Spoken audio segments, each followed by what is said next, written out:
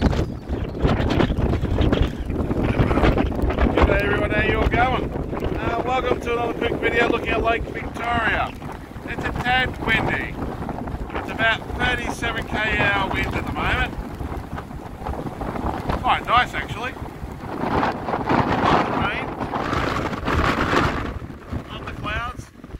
Blue skies and sunshine yesterday with no um, real wind anything like that. Today we've got grey clouds, lots of rain and 30, 37 to 38 k 38k winds.